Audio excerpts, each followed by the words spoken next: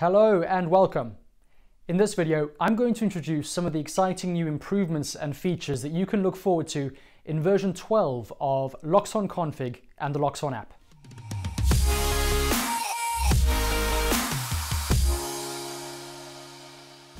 An all-new automatic designer with an improved user interface and a host of new features. The Automatic Designer gives you and your customers the ability to easily create powerful automatic rules from within the Loxone app. Here's how it works. Go to Automatic Designer from the app menu, then create a new automatic rule. Then set a condition. Here we have functions, operating modes, times, and weather data available. Several conditions can now be linked with the help of an AND or an OR function. What's also new is that from now on, messages such as push notifications, calls via the caller service, and emails via the mailer service can all be set as actions.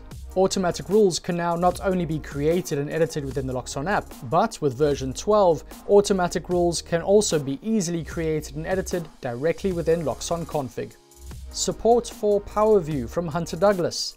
Hunter Douglas is the world market leader for interior shading.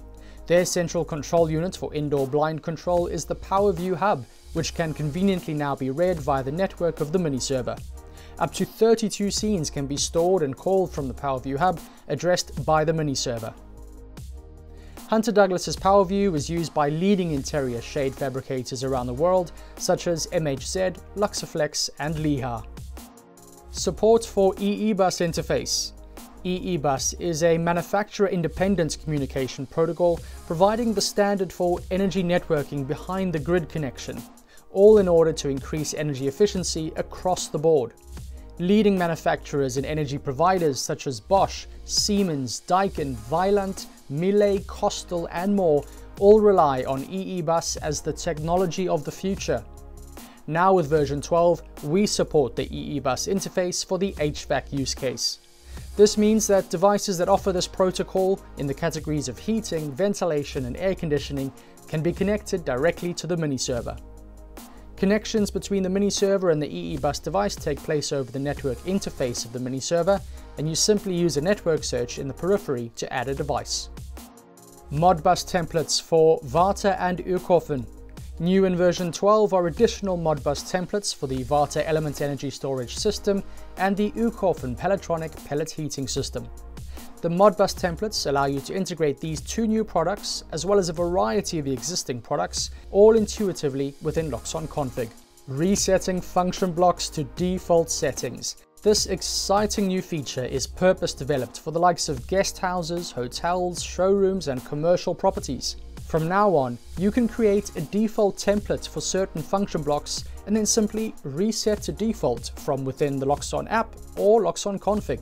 The function blocks which support this feature include the lighting controller, audio player, room ventilation controller, intelligent room controller, alarm clock, and schedule block. These compatible function blocks now have a new input, RTD, which the default templates can then be triggered from.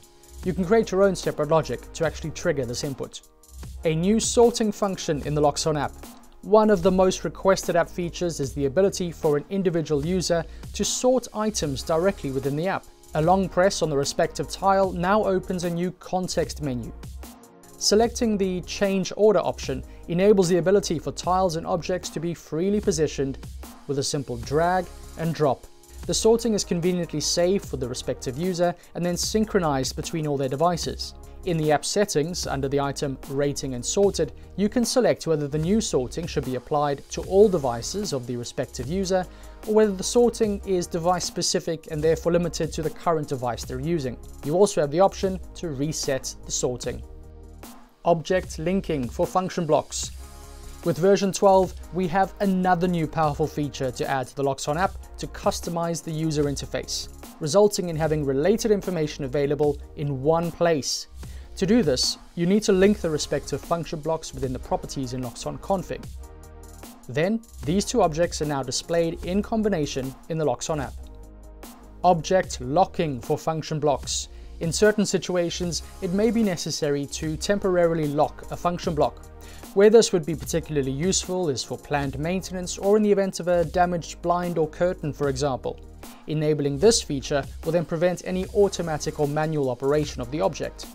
This function is supported by all function blocks and offers more peace of mind in the event of necessary maintenance or shutdown.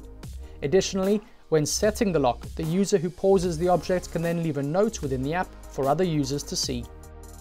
The lighting controller now has presence input for mixing in lighting moods. The lighting controller has been improved yet again, enabling the mixing in of lighting moods when there is presence. For example, in a residential install, when you have a kitchen diner open plan space with active basic lighting, you can now mix in a bright cooking mood in the kitchen area when presence is detected in that space. To do this, check the presence box in Loxone config for the respective lighting mood, and then connect the relevant presence detector to the respective input.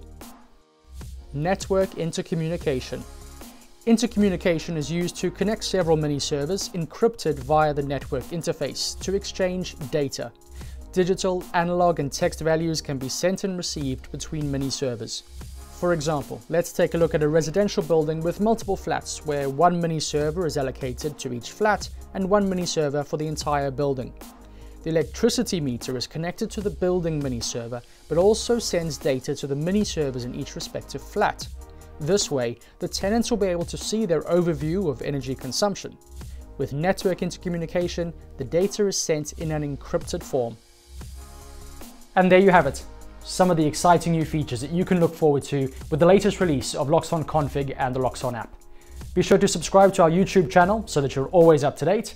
That's all for now though. Thanks for watching.